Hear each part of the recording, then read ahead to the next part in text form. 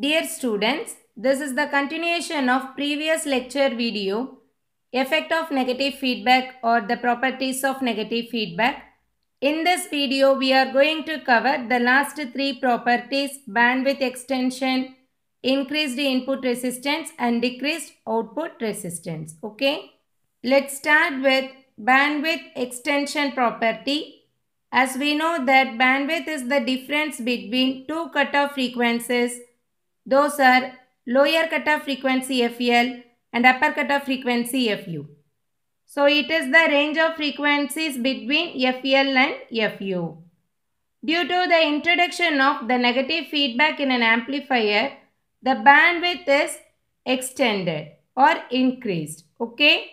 So for that we can consider the diagram.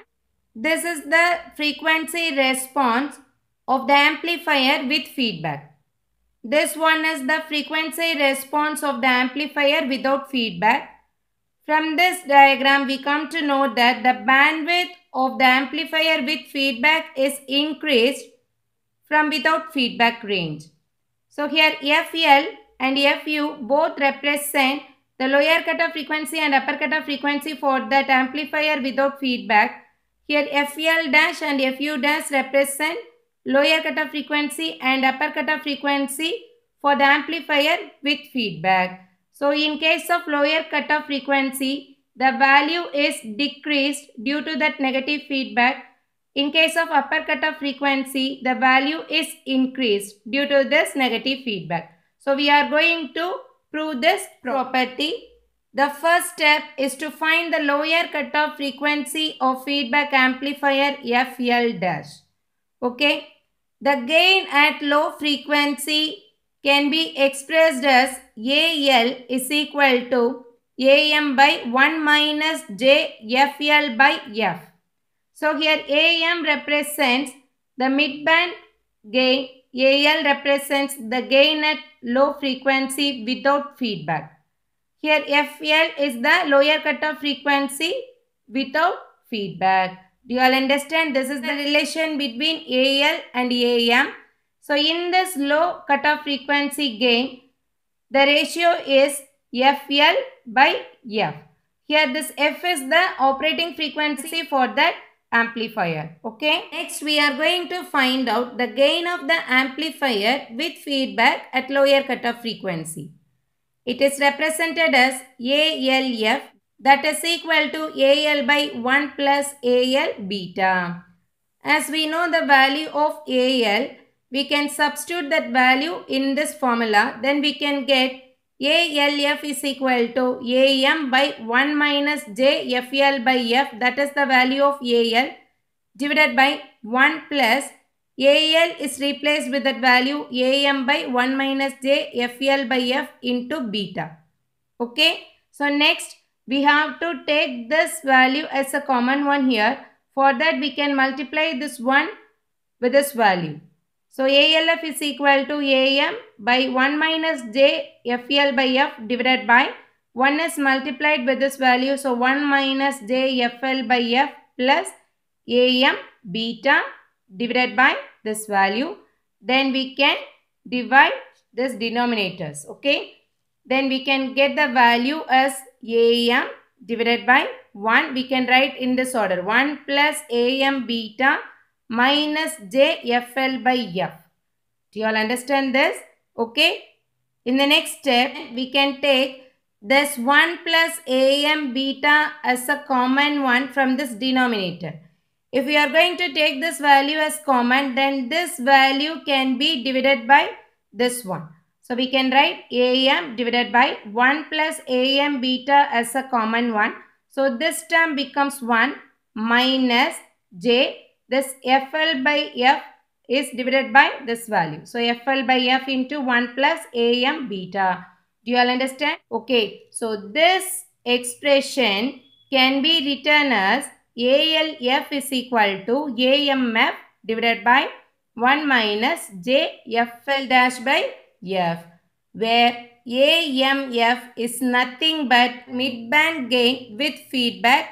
Its value is AM divided by 1 plus AM beta. So this value can be written as AMF with feedback. Okay. Then the denominator is having that value 1 minus j FL dash by F where this FL dash is nothing but FL divided by 1 plus AM beta. That is the lower cutoff frequency with feedback. Do you all understand now? So this term FL divided by 1 plus AM beta can be replaced with the term FL dash. Okay. The equation FL dash is equal to FL by 1 plus AM beta clearly shows that the FL dash value is always less than FL. Here FL is the low cutoff frequency without feedback. FL dash is the low cutoff frequency with feedback. So with feedback means at low frequency range it is decreased. Okay. That means the negative feedback decreases the lower cutoff frequency by the factor 1 plus AM beta. So here you can see this. This is the frequency response means this one is for without feedback. So its range is FL. Here the frequency, low cutoff frequency for this feedback amplifier is decreased by FL dash is decreased by the factor 1 plus A beta. So next we are going to find out the upper cutoff frequency of a feedback amplifier FU dash. Okay, sometimes it can also be represented as FH dash. Can be represented either as high cutoff frequency or upper cutoff frequency both are same okay? For that we can consider the gain at upper cutoff frequency without feedback okay? Without feedback means midband gain divided by 1 plus j f by fu so you have to remember for this high cutoff frequency its value in the denominator is plus and f by fu Okay.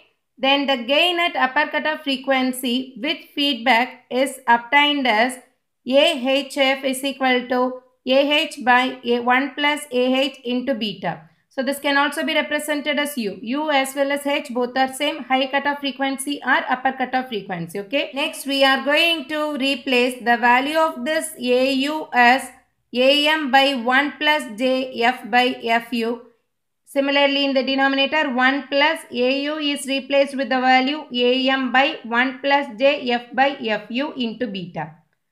Then we can take the LCM value here. 1 plus JF by FU plus AM beta on the whole divided by this value. The denominators are divided each other. Then we can get AUF is equal to what? AM by 1 plus AM beta plus JF by FU for further simplification, we can take this 1 plus am beta as a common one in the denominator. Then the term becomes am by 1 plus am beta into this term becomes 1 plus jf by fu which is divided by 1 plus am beta.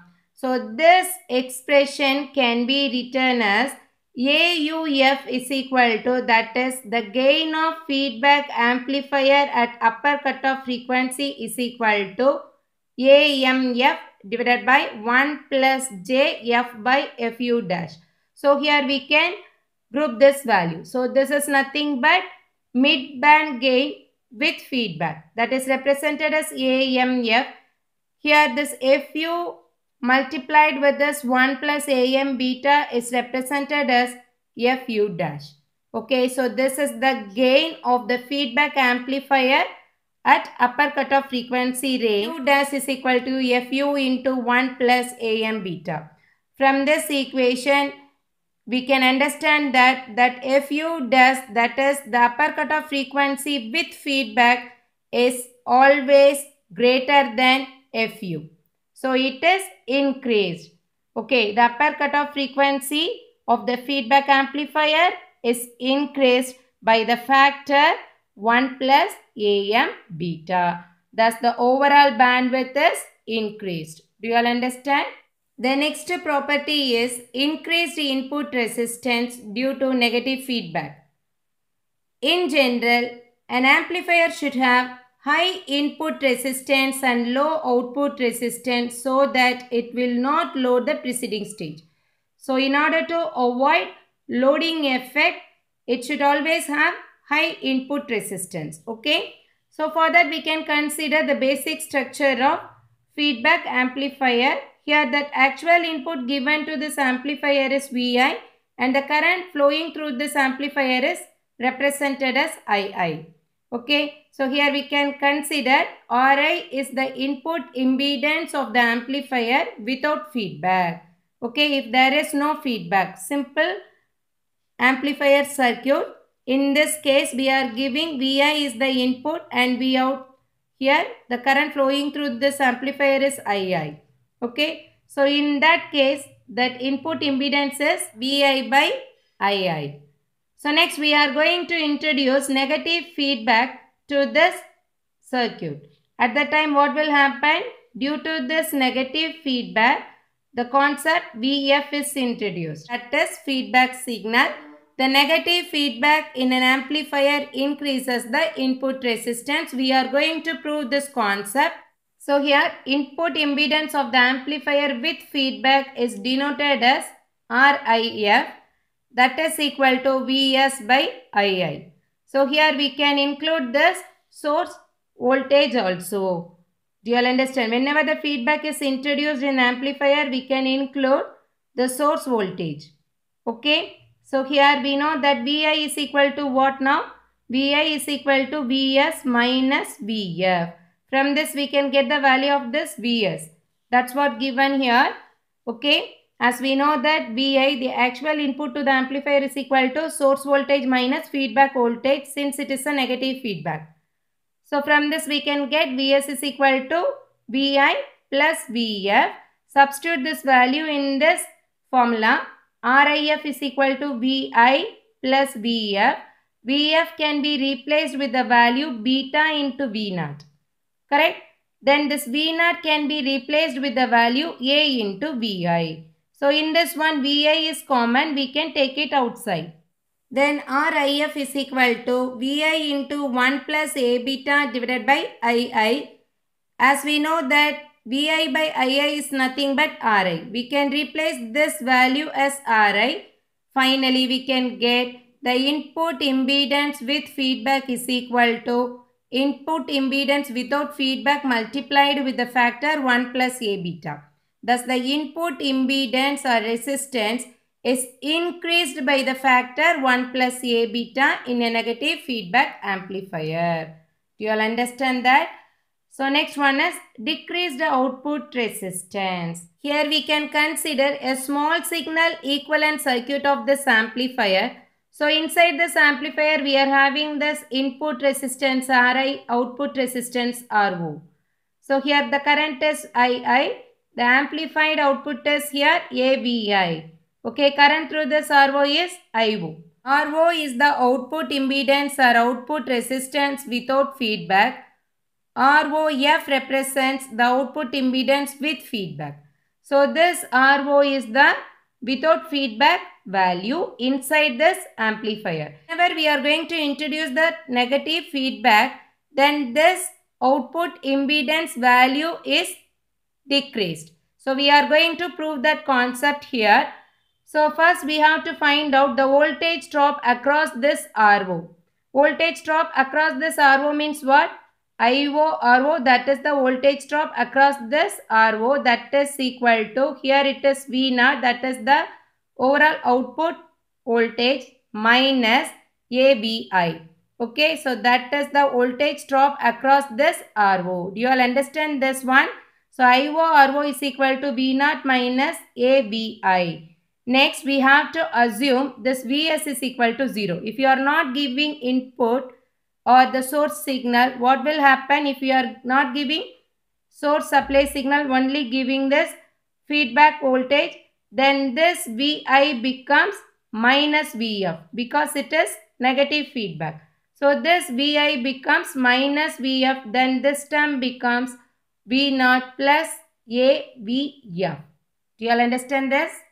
The voltage drop across R naught is the IO RO that is equal to VO minus AVI.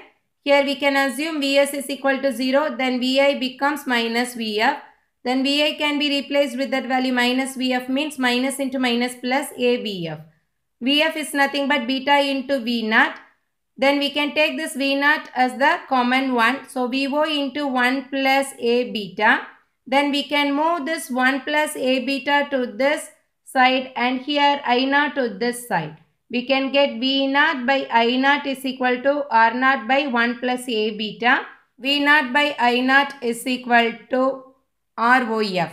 That is the output impedance with feedback nothing but RO by 1 plus A beta. The output resistance is decreased by the factor 1 plus A beta.